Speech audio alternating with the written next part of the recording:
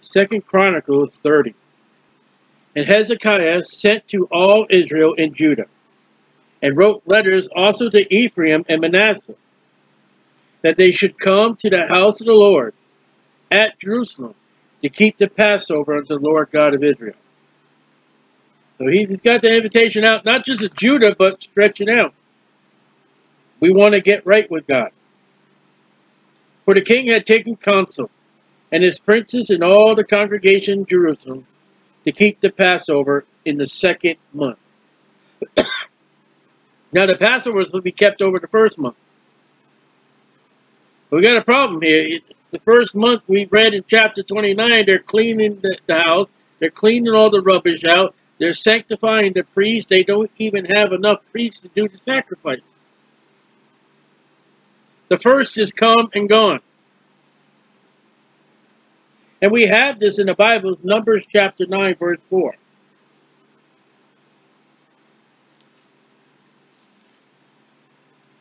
God has put a provision in the scriptures for this very day. And I guess God knows what's going to happen already. In Numbers 9, chapter, uh, chapter 9, verse 4. And Moses spake unto the children of Israel that they should keep the Passover. That's where we are in Chronicles. And they kept the Passover on the 14th day of the first month at even in the wilderness of Sinai. That's the proper time. First month, 14th day.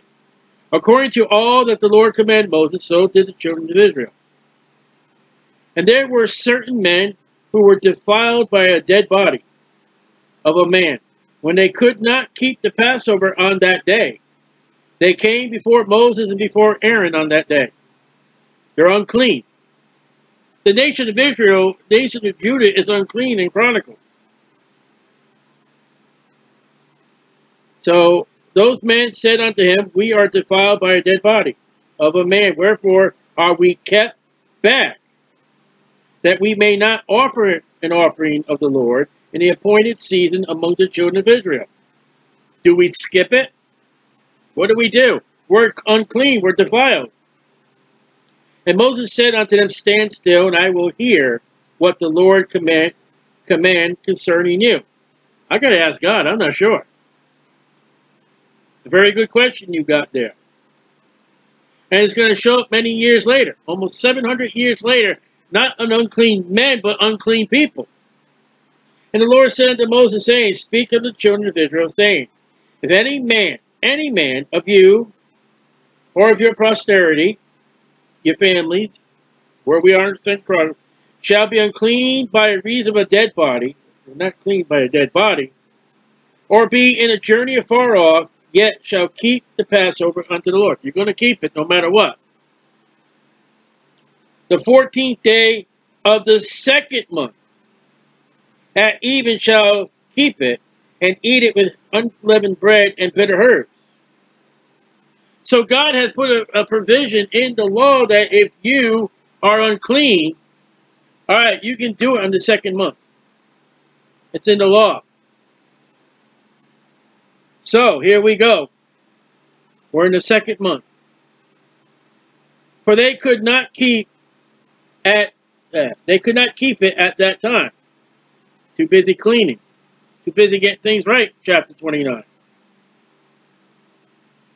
Because the priests had not sanctified, set themselves sufficiently, neither had the people gathered themselves together at Jerusalem. Well, that's one of the things. I mean, if you're a far off journey, Numbers chapter 9, if you saw it, it's like God already knew what was going to happen. He's sending letters out. We're going to have the Passover. We're a month. We're a month late, but we're going to have it. And the thing pleased the king and all the congregation. So they established a decree. That's the first time that word shows up. To make proclamation throughout all Israel from Beersheba, that's down south, even to Dan, that's up north. That's even including Israel that's been foul and wicked in the eyes of God. All of Israel, not just Judah. All Israel. That they should come, like the law said, to keep the Passover to the Lord God of Israel at Jerusalem, what the law said. For they had not done it of a long time in such sort as it is written. Been a long while. So the post, the mailman, went out with the letters from the king and his princes throughout all Israel and Judah. Notice Israel north, Judah south. And according to the commandment of the king, saying, Ye children of Israel, turn again. That's repentance. That's what repentance means. Come back. Get back. Do right. Unto the Lord God of Abraham, Isaac, and Israel. Not Ishmael, Isaac. And he will return to the remnant of you that are escaped out of the hand of the of the, kings of Assyria. So there have been people taken captive by Assyrians and they, they escaped.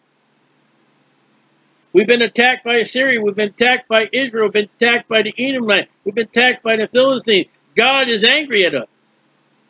We want God to have favor with us again.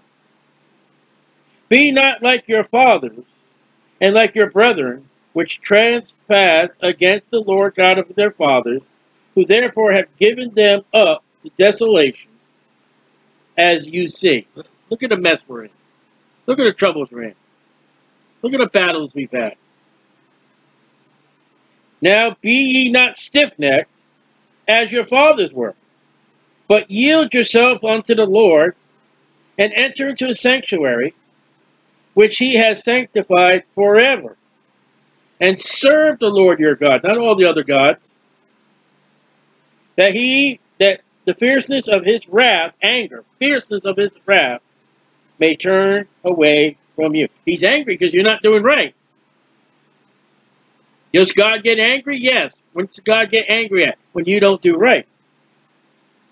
For if ye turn again, repent unto the Lord your brethren, and all your children shall find compassion before them that led thee captive. Your enemies are going to say, you know what, maybe just let you go. You've had it hard enough. It'll be God twisting the hearts of your enemy so that they shall come again into this land, Israel, for the Lord your God is gracious and merciful, and will not turn away his fierce wrath, wrath from you if you return unto him. The only way to please God is to get right with God. You can't carry about and keep doing it your own way. So the post, the mailman, passed from city to city throughout the country of Ephraim and Manasseh, even unto Zebulun, that's the sea coast. Now here's a reaction. But they laughed them to scorn and mocked them. And anybody involved in any public ministry has had that happen. You've been mocked and you've been laughed at. Oh, who do you think you are? Oh, go back to God. Leave us alone, you preacher. Go serve your God. We'll serve our God. All they that live godly in Christ Jesus shall suffer persecution. All they that live godly in Jehovah will suffer persecution. They are laughing at King Hezekiah. That's how wicked they are up north. You want to get right with God? You want to do right? Go down to Jerusalem. I got the golden calves over here. We got our holidays. Leave us alone. Go back to your own land, preacher. And one of the minor prophets speaks about, you know, don't preach in Bethel anymore. Go home and preach. Nevertheless, divers, different kinds, separate of Asher and Manasseh, and of Zebulun humbled themselves and came to Jerusalem. So not everybody rejected. There are some that say, you know what? Yeah, let's get right. Also in Judah, the hand of God was to give them one heart, unity, to do the commandment of the king, come back and do the, the Passover, and the, the princes by the word of the Lord. So what the king and the princes wanted to, by the Passover was also the word of God, the law. We're supposed to have the Passover. You're supposed to come. And there assembled at Jerusalem much people, not all the people, notice that, much, not all, to keep the feast of unleavened bread in the second month, and a very great congregation, not a, a total congregation, but a great one. So they're going to keep the Passover on the second month, And they're going to keep the Feast of Unleavened Bread in the second month.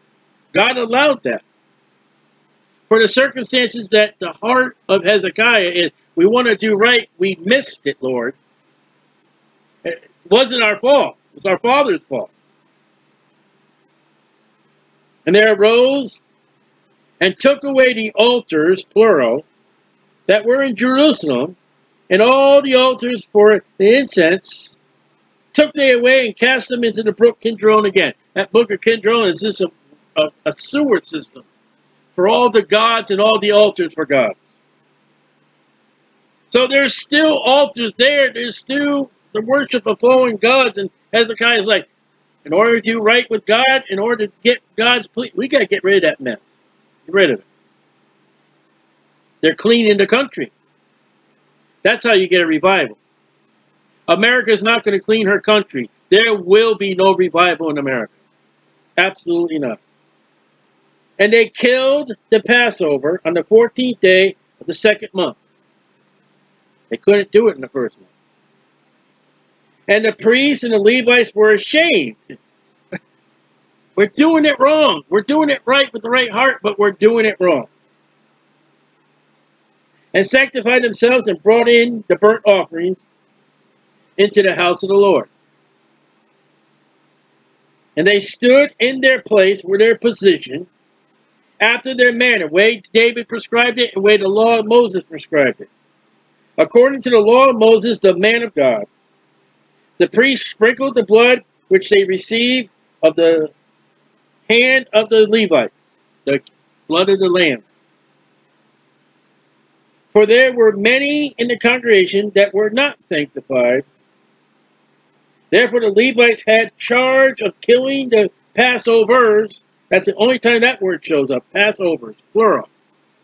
Remember Exodus 12, it said, you know, your land, that land, and there was supposed to be a land for every family if you were size enough.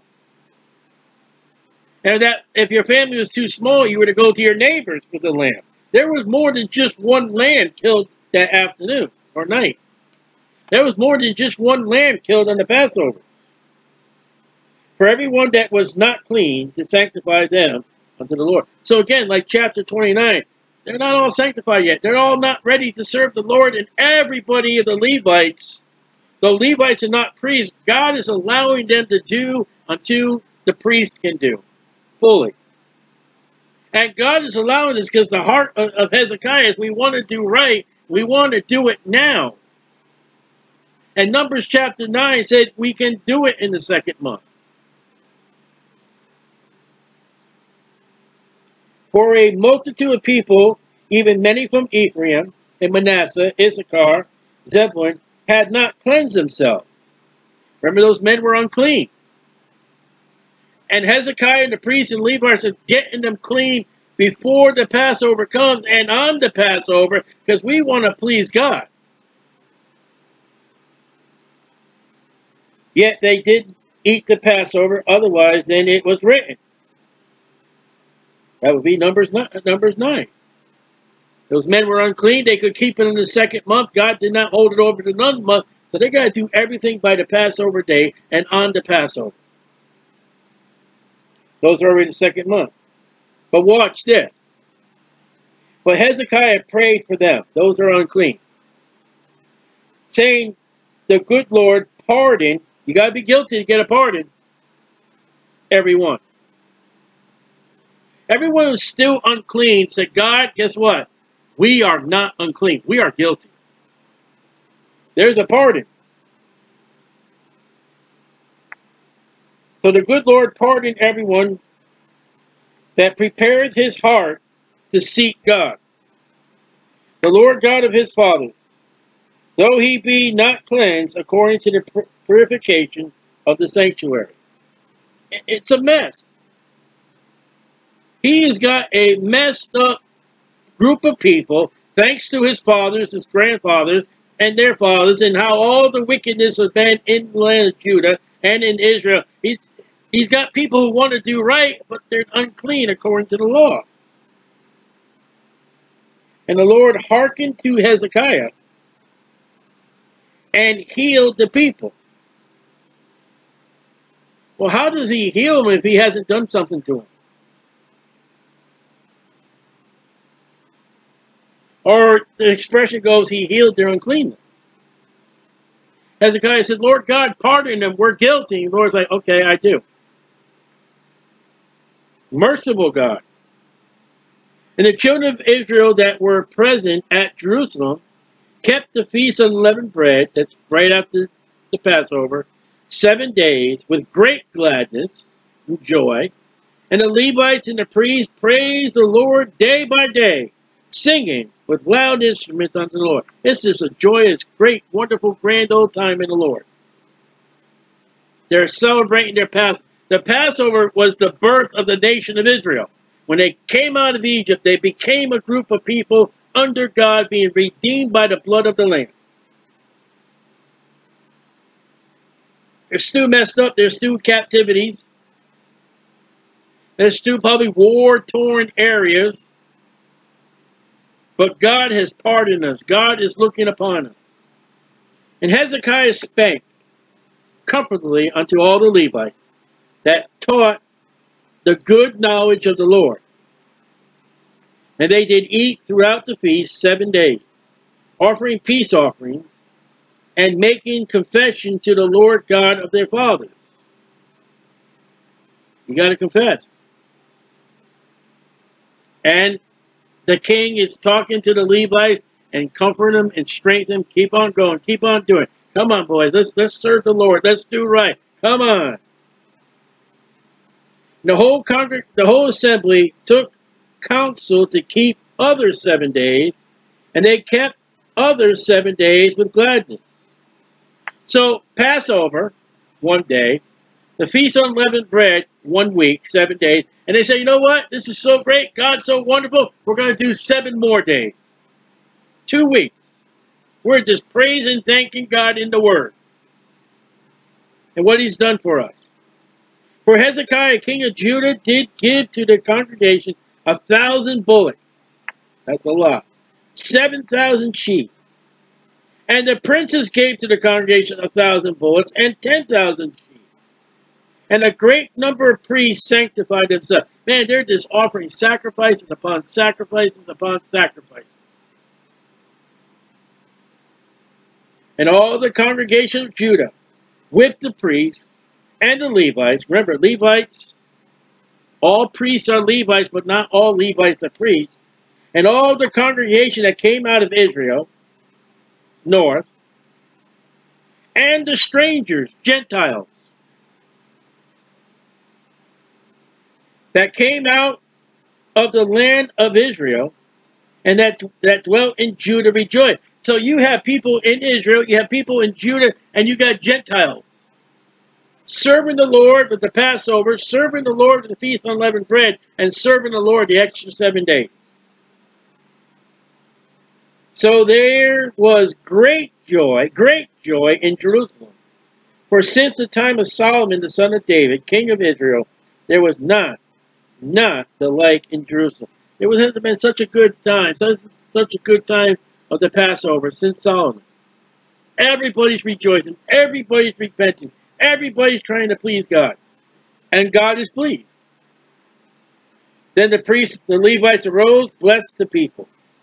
And their voice was heard. Had to have been loud. I get accused of being loud when I preach on the streets. They had to be loud and their prayer came up to his holy dwelling. Look at that. Ready? Came to the holy dwelling place. You mean the most holy place? No. The holy place? No.